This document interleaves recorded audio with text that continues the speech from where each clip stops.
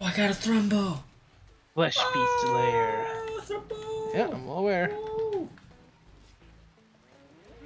It only took about a year and a half, but I finally got a thrumbo.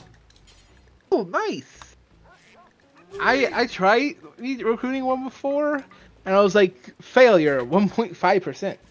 Yeah, that's, Yeah. that's what I've been dealing with for the last year and a half.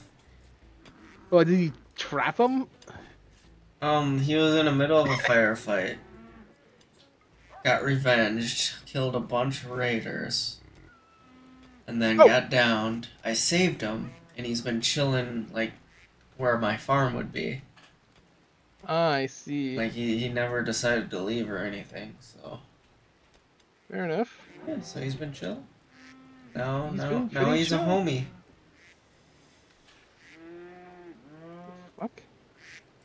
Oh yeah. Now I just need one more. And to commemorate my first ever ever muffle not muffalo. Thrumbo I've ever gotten. I'm gonna name it Miracle the Second.